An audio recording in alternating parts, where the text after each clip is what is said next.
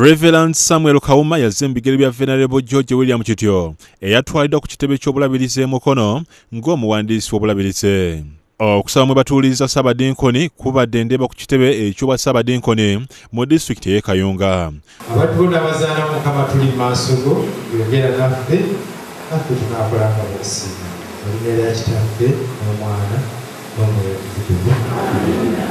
omulabirizi w'emukono james william sebagala akulidde okubuulira mu kusaba kuno asabye gavumenti okusitukiramu okudduukirira amasomero g'ekkanisa g'agambye nti gali mu mbeera mbi nnyo nga n'ebizimbe ebimu binaatera kugwa. Tetwasomeramu naye nakati terikyaliwo kale nno naye n'obusolya buvaako n'ebirala byonna kale nno tunasanyuka nnyo pulezidenti ng'atukoledde sipiika wa paalamenti rebeka kadaaga eyeetabye mu kusaba kuno. Agambye nti abawagira ebisiyaga basiba mu ofiisi ye era abeetamiddwa nga bamuperereza nti akkirize ebisiyaga bikolebwe wano mu uganda nga n'okumutiisatiisa kwe batadde nti bwe bataabikkirize uganda obuyambe obuva ebweru ebwerabire. Balinga bajja mu ofisi yange okuŋŋamba kuntiisatiisa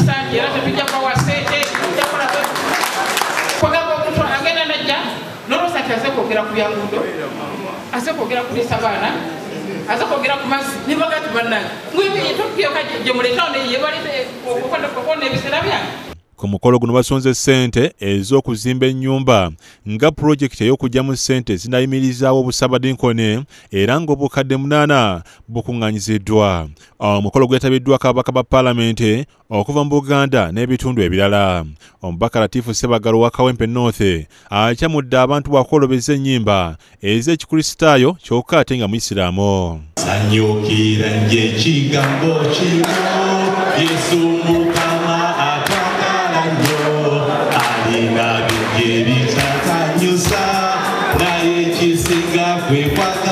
sawulo ow'okulira yakusakidde eggule lino ku lwabukede tv